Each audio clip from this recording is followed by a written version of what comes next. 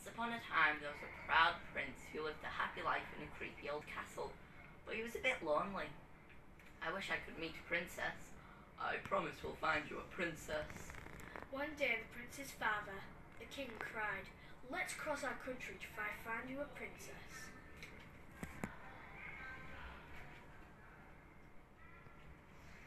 The family stayed in some great palaces. Princesses came from near and far, aiming to impress the waiting prince. Mostly the princesses behaved well, but some were vain, some were lazy, and some just wanted the cake.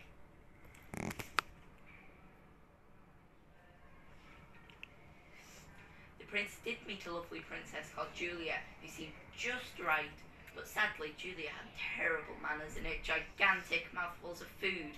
She just wouldn't do either. The prince returned to his faraway castle feeling sad. One night there was a fearsome storm. Fierce lightning lit up the sky. It was so cold that everyone stayed close to the fire.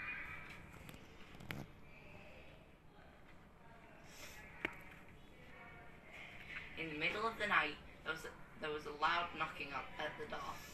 It was such a nasty night, the queen felt nervous about the noise. Then they heard knocking again. They opened the door. There stood a girl with dripping wet curly hair.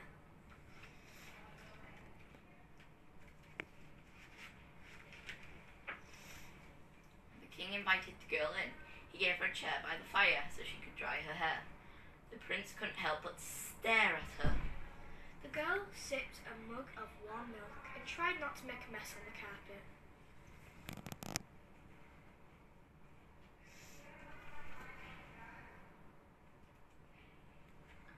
Soon the girl grew warm and dry. Now she was in a much better mood. Who are you? asked the prince. The girl told him she was a princess. The queen did not believe this. Let's prepare a room and prove whether she's a true princess, thought the queen.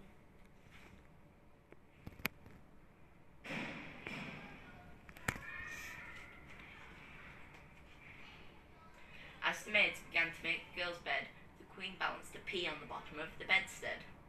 She will have a beastly night's sleep if she's a real princess, said the queen, she will feel a big lump in her bed.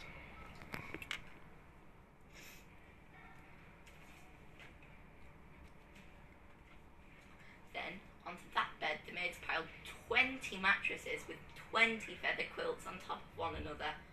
When the quilts were smooth, the maids left. The prince's mother fetched the girl from the other room. There she was left for the night.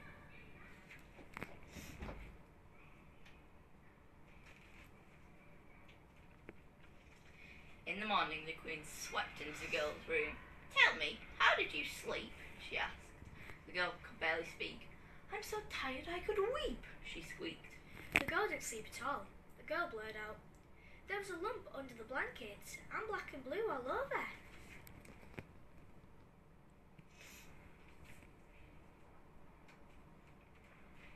There was no doubt about the girl now. Only a princess would have felt a little round pea in the bed. When the prince found out, he gave a shout of joy. Whoopee! The prince vowed to marry the princess and astounded her by asking her the right way they didn't hang about.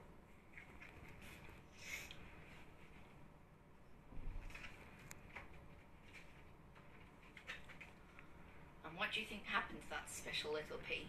It was placed in the Royal Museum, where it probably still is today. The end.